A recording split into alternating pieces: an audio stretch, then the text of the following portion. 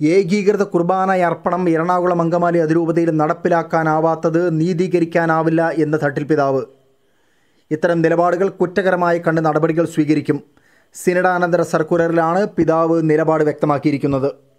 നമ്മുടെ സഭയുടെ ഏകീകൃത കുർബാനാക്രമം എല്ലാ രൂപതകളിലും നടപ്പിലാക്കുന്നതിനായുള്ള രണ്ടായിരത്തി ഇരുപത്തിയൊന്നിലെ സിനഡ് തീരുമാനം സഭയിലുടനീളം മാറ്റമില്ലാതെ തുടരുന്നതാണ്.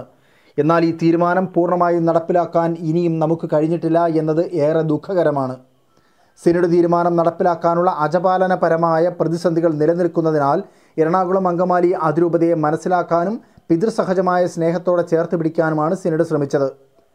ഇതിന്റെ ഭാഗമായി ഞായറാഴ്ചകളിലും കടമുള്ള മറ്റ് ദിവസങ്ങളിലും ഒരു കുർബാനയെങ്കിലും ഏകീകൃത രീതിയിൽ ചൊല്ലിത്തുടങ്ങുന്ന പള്ളികളിലെ വൈദികർക്ക് സഭാപരമായ നടപടികളിൽ നിന്ന് താൽക്കാലികമായി ഇളവ് നൽകും എന്നറിയിച്ചിരുന്നു.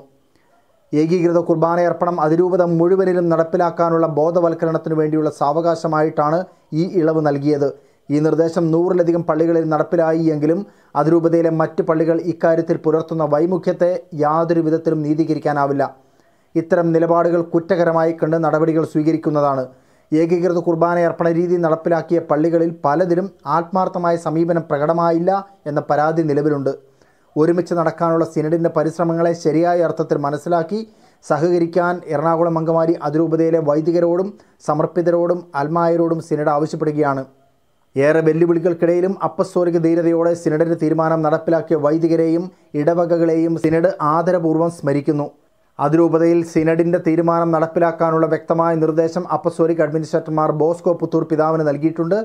ഏകീകൃത കുർബാന അർപ്പണവുമായി ബന്ധപ്പെട്ട ക്രമീകരണങ്ങളോട് എല്ലാവരും സർവാത്മന സഹകരിക്കണം എന്ന് സിനഡ് ആവശ്യപ്പെടുന്നു എന്നതാണ് സർക്കുലറിൽ പരാമർശിക്കുന്നത്.